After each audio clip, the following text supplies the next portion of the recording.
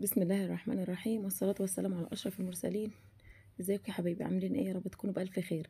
النهاردة زي ما أنتم شايفين كده هنعمل مع بعض لحمة بالبطاطس بس تحفة بصراحة يعني.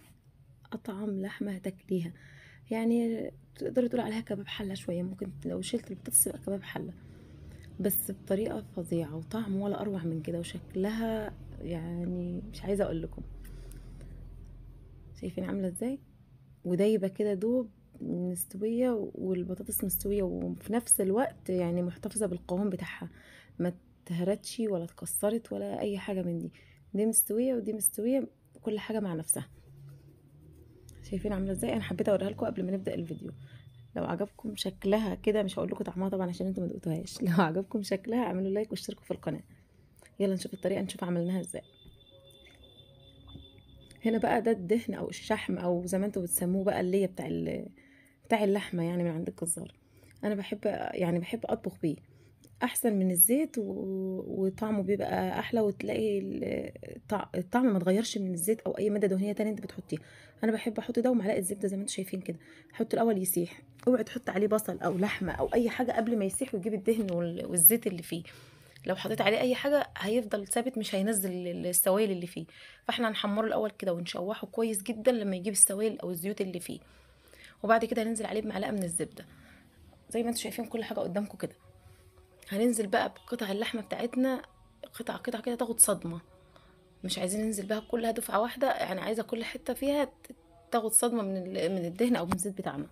وممكن لو ما عندكيش الدهن ده عادي ممكن تعملي بزيت أو زبدة حسب ما انت بتستخدمي المادة الدهنية بتاعتك. نسيبها كده بقى تتشوح مع نفسها لما شايفين البقبقة وال كده هتاخد لون ون... ونقلبها بقى على الجهة التانية بتبقى فظيعة. هي كده خلاص عاملة شكل اللحمة المشوية عايزة تتاكل كده لحد الخطوة دي كده عايزة تتاكل.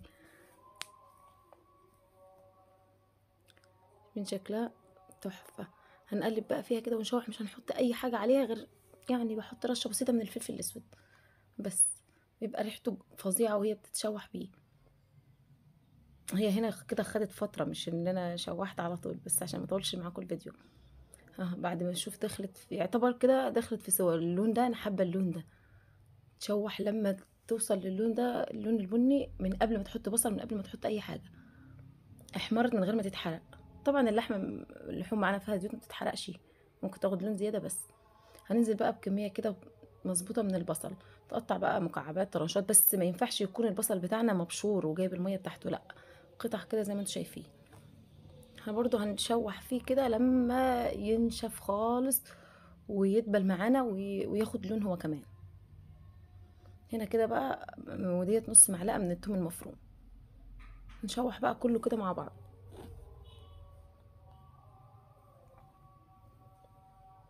البصل هياخد لون من اللحمة أساسا اللحمة واخدة لون قبل ما نحط عليها البصل. جربي الطريقة دي وعمرك ما هتغيريها.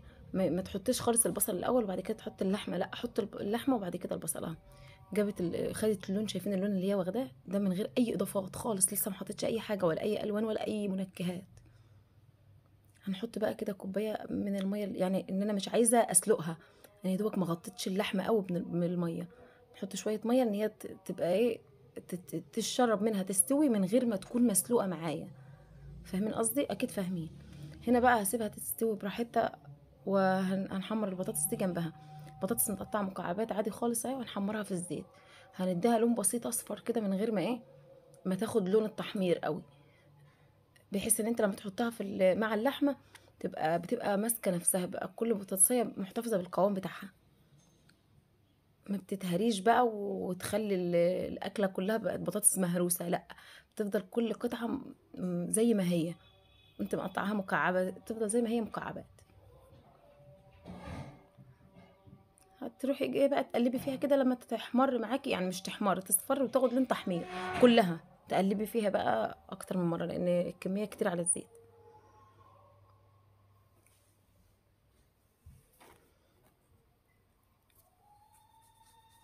بس كده هي احمرت هخرجها بقى من الزيت ونشوف هنعمل إيه. اهو هنا بقى اللحمة بتاعتنا هوريها لكم بعد ما استوت خالص. ده طبعا عدى وقت.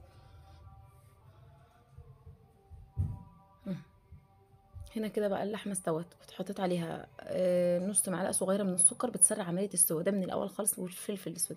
هتحطي بقى عايزة تحط دي معلقة كبيرة من العسل الأسود. شايفين حجم المعلقة؟ دي مش معلقة أكل عادية دي معلقة كبيرة شوية عن اللي بتاع الأكل. معلقة عسل أسود. وتحطي المنكهات بتاعتك بقى. عايزة تحطي حبهان لورا زي ما أنت عايزة. بس أساسي معلقة العسل الأسود والفلفل الأسود. نهارنا أبيض. هنحطنا تاني شوية كده برضو كوباية من المية. أنا مش عايزة أحط كمية المية كلها مرة واحدة من البداية عشان ما تبقاش زي المسلوقة. عايزاها تشربها شوية بشوية. أنا هنا زودت شوية المية عشان هحط البطاطس بتاعتنا. البطاطس من الزيت على على اللحمة على طول. وكل مكعبات زي ما هي من غير بقى ما تتهرس ولا أي حاجة من دي. هنغطيها بقى ونسيبها مع نفسها. مش هتاخد عشر دقايق بالظبط لأن اللحمة بتاعتنا تعتبر استوت أو دخلت في السوا. والبطاطس أنا حطاها مستوية أساسا. أه. السايل بتاعك بقى يعني المادة السوائل اللي فيها ممكن تنشفي عن كده وممكن تخليها أكتر من كده شوية حسب ما أنت عايزة. هي بالنسبة لي في المرحلة دي كده مظبوطة. مش عايزة سوائل كتير وفي نفس الوقت مش ناشفة خالص لأ. عايزة أقولك السائل بتاعها ده يعني طعمه ولا أروع من كده. أطعم من البطاطس وأطعم من اللحمة. هو البهاريز زي ما بيقولوا. شايفين شكلها عامل إزاي؟ تحفة.